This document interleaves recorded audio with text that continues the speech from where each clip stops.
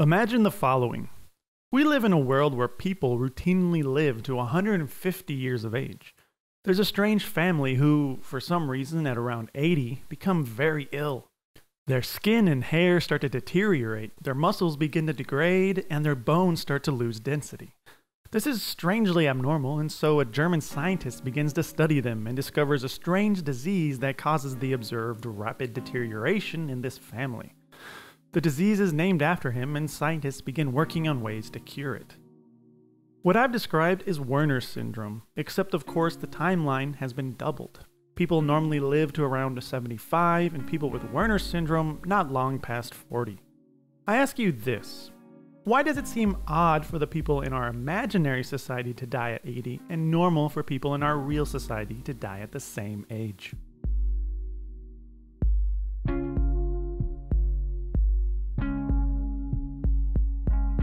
Age is a disease. The concept sounds wrong and will be scoffed at by many, but until we normalize this idea, we won't be able to adequately address it. When I say age is a disease, I'm not saying time or getting old is the disease, I'm talking about the physical manifestations we associate with getting old. Twins with different lifestyles can have very different ages despite having lived the same amount of time. Like all diseases, some people are more susceptible or resilient to it than others. The difficulty in classifying aging as a disease is it isn't as tangible as other diseases. And since it also occurs for every single person who lives, it's even easier to say, nah, that's just how things are. But humans have only recently in geological time been able to consistently live to such extreme ages. There was never an evolutionary benefit to avoid aging. When we look at apex predators like whales and sharks who have been able to live and reproduce in the same environment for hundreds of millions of years, they don't really seem to age. Now, there's a lot of difference between humans and sharks, and it would be naive to use that as evidence. But let's consider some past theories. The oldest, most common theme in the theory of aging is that our DNA becomes damaged, loses its information, and thus cells lose their function and deteriorate. Over time, we experience these hallmarks of aging, and eventually our bodies fail to maintain itself.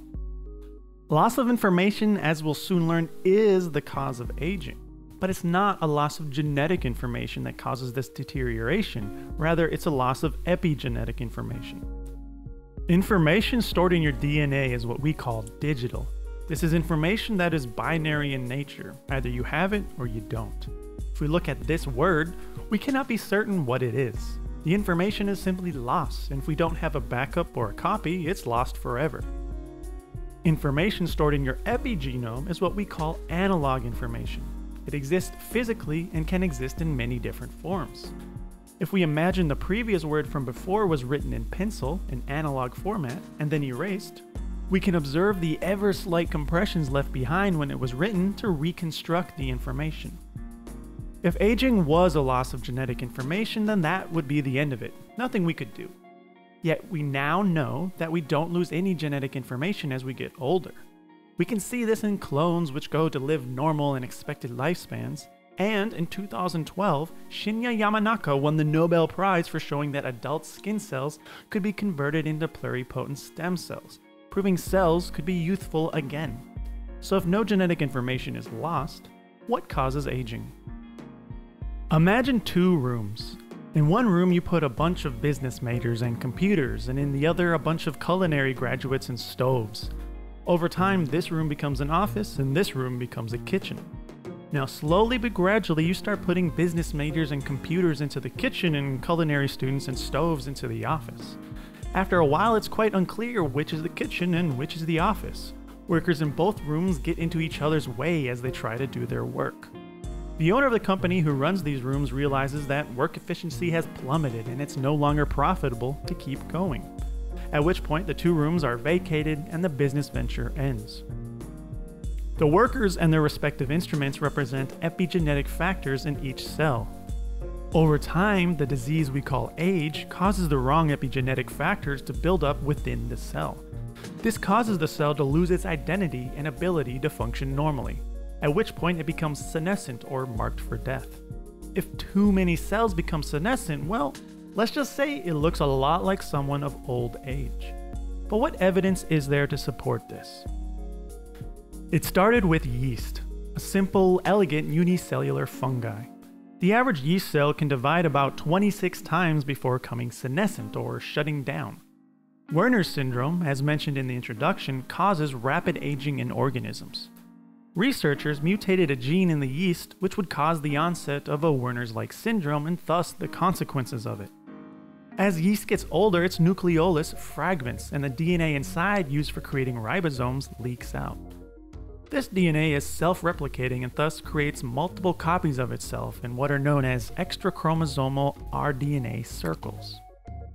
When induced with Werner's syndrome, yeast rapidly accumulated ERCs and died soon after. Now, this creates two hypotheses. Either aging causes the creation of ERCs, or the ERCs cause aging. To test this, researchers inserted multiple ERCs alone into healthy yeast cells and observed the same thing rapid aging and deterioration. So it seemed as if ERCs caused aging. But to solidify this hypothesis, they needed to see what happens if the cell was able to remove them.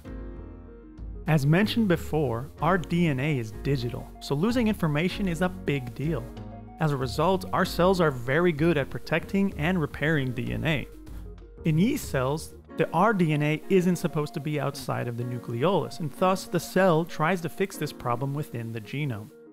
This task of fixing the genome is principally carried out by proteins called sirtuins. Sirtuins are found in all domains of life and are often referred to as longevity enzymes, as they regulate the cell to maintain its genetic health and repair damaged DNA. Sirtuins are also histone deacetylates. What does that mean? The epigenome is the reason a brain cell behaves differently from a heart cell despite containing the same genetic information. This is mostly accomplished by physically controlling which genes are available to be read and which are off limits.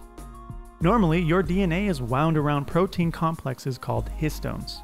When it's tightly wound around a histone, the genetic information inside cannot be accessed, thus, genes within it are off limits. However, if we attach an acetyl group to the histones, this reduces the interaction between them and the DNA, allowing it to unwind and relax a bit. Cells place acetyl groups on histones near relevant genes for their function, so heart cells have acetylated histones near heart cell genes, and brain cells have acetylated histones near brain cell genes. Sirtuins are deacetylates, which means wherever they are, the DNA is wrapped up tight and whatever genes are near them are inaccessible. If, however, the sirtuin leaves its original position to go help repair DNA, that gives the histones that were originally blocking genes the opportunity to become acetylated and relaxed. This then gives the previously silenced genes an opportunity to transcribe themselves. But we're getting a little ahead of ourselves. We return to our original hypothesis that ERCs in yeast cells cause aging. If the yeast cell was able to remove the ERCs, it should therefore slow aging and live longer. Researchers inserted an extra sirtuin gene into the yeast genome, meaning the creation of extra sirtuin proteins. And sure enough, not only did the ERCs disappear, but yeast cells with an extra sirtuin gene sequence lived 30% longer. And this was interesting. It would seem that a yeast cell's ability to quickly fix its DNA correlated to longer and healthier lifespans. Now, this does seem to mesh with the original theory of DNA damage being the cause of aging, but it still wouldn't explain how old DNA can become youthful again. And this is where our kitchen and office metaphor from before comes into play. As sirtuins leave their original locations to help clean up DNA damage and genomic instability, proteins that shouldn't exist in our cell start to be created. If the DNA damage is significant and persistent, sirtuins rarely have the opportunity to return to their original location, and thus these genes that should have never existed accumulate and create epigenetic noise, which eventually creates cell senescence. This revelation has been proven in multiple controlled studies in multiple organisms. Introducing methods to control epigenetic noise and promote genetic stability increase lifespan and, more importantly, vitality during the organism's life. Sirtuins aren't the panacea of slowing or stopping aging, and merely one of multiple enzymes that can be manipulated to do so. All of which indicate two repeating trends in age related research. Aging is the result of epigenetic noise causing a loss of cell identity, and stabilizing and even reverting the epigenome to a younger state diminishes or even completely negates the effects of aging. When aging is treated like a disease, then it seems quite unnecessary. In fact, it seems possible to completely prevent aging as we know it. Dot, dot, dot.